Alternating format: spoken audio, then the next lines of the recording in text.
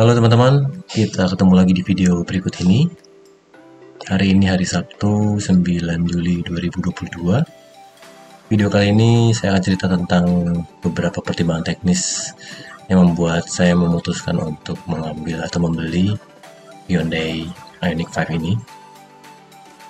Uh, pertimbangan pertama yang paling sederhana, yang paling simpel yaitu bentuknya. Bentuknya menurut saya sangat eye catching, menarik. Uh, beberapa review bilang ini adalah untuk yang retrofuturistis. Uh, ya kita lihat di gambar ini bentuknya memang menarik ya. Jadi wheelsnya rodanya dengan velg 20 inci ada yang 19 juga. Kemudian wheelbase yang 3 meter membuat dia kelihatan seperti mobil hatchback kecil. Yang berikutnya adalah size nya atau ukurannya jadi mobil ini walaupun terlihat kecil tapi sebenarnya ukurannya besar. Ini saya buat sedikit komparasi dengan beberapa SUV. Walaupun mobil ini mungkin kategorinya tidak murni masuk ke dalam SUV. Tapi uh, yang paling mendekati saya pikir SUV ya. Jadi di sini kalau kita lihat yang saya kasih highlight biru itu adalah angka-angka dimensi yang melebihi dari mobil yang di compare ya, yang dibandingkan. Hyundai ini punya wheelbase yang paling panjang dari semua SUV yang ada kemudian lebarnya yang menarik adalah dia sangat lebar ya bahkan dia lebih lebar dari Toyota Fortuner Pajero, CRV, Innova, Wuling Almas, Mazda CX-5, Lexus. Uh, jadi bisa dibayangkan dengan lebar seperti itu dengan wheelbase 3 meter uh, ukuran di dalam atau ruangan yang tersedia di dalam tentunya akan sangat sangat lega ya.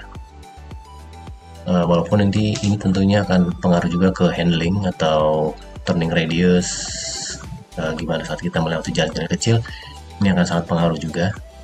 Tapi buat saya ini salah satu faktor yang membuat uh, saya tertarik begitu. Yang kedua adalah karena pembelian mobil ini lewat ATPM uh, tidak berarti bahwa yang lewat importir umum itu kurang kurang aman atau kurang menarik tapi saya pikir ini personal preference ya. Uh, buat saya pribadi lebih nyaman dan aman kalau lewat ATPM dan juga kebetulan showroom dan bengkelnya ini sangat dekat dengan rumah ya yaitu hanya berjarak 1,8 km pertimbangan ketiga adalah harga di Indonesia ini kalau saya compare dengan harga di luar nggak terlalu jauh bedanya. Jadi saya ambil referensi dengan harga yang ada di Australia. Kenapa Australia? Karena kalau kita lihat sebenarnya pasar otomotif terbesar di dunia mungkin adalah di China dan yang kedua mungkin di Amerika ya. Kalau salah mau dikoreksi.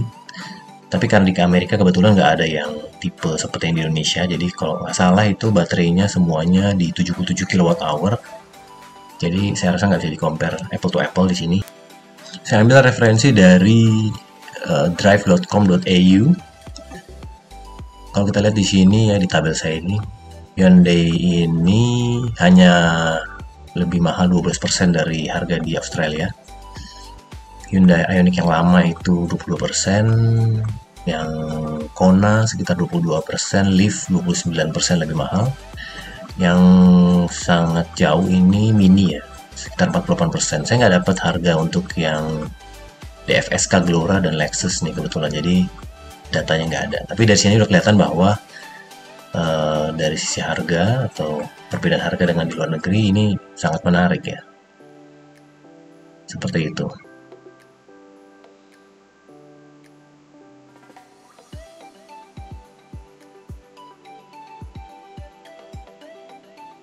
Kemudian keempat, harga per kilowatt hour baterainya atau kapasitas baterainya itu sangat menarik.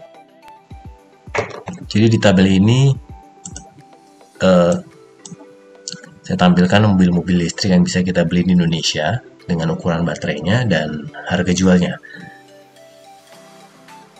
Komponen harga baterai terhadap harga jual mobil itu punya porsi yang sangat besar. Jadi beberapa beberapa sumber mengatakan bahwa harga baterainya dari sebuah kendaraan listrik itu bisa lebih, lebih dari 50% bahkan begitu ya.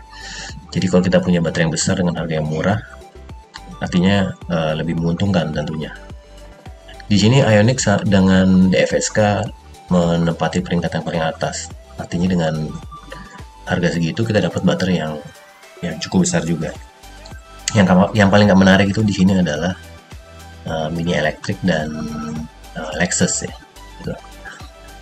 Ya, saya highlight juga di sini jenis dari baterainya si DFSK terutama ya. Sebenarnya ini sangat menarik buat saya dibanding yang lain ini lebih lebih menarik karena tipenya bukan uh, nickel base bukan uh, katodanya bukan pakai nickel atau oxide metalnya bukan dengan nickel base tapi menggunakan besi dan fosfat. Nah, baterai ini punya keunggulan yaitu umur uh, atau life life cycle-nya, lifetime cycle-nya itu bisa 2 sampai 3 kali dari nickel. Sehingga uh, tentunya umur baterainya jadi lebih panjang dengan ukuran yang sama begitu ya. Tapi di sini Hyundai udah kelihatan sangat menarik. Lalu yang kelima vehicle to load. Jadi uh, sudah banyak yang melihat di reviewer YouTube lain.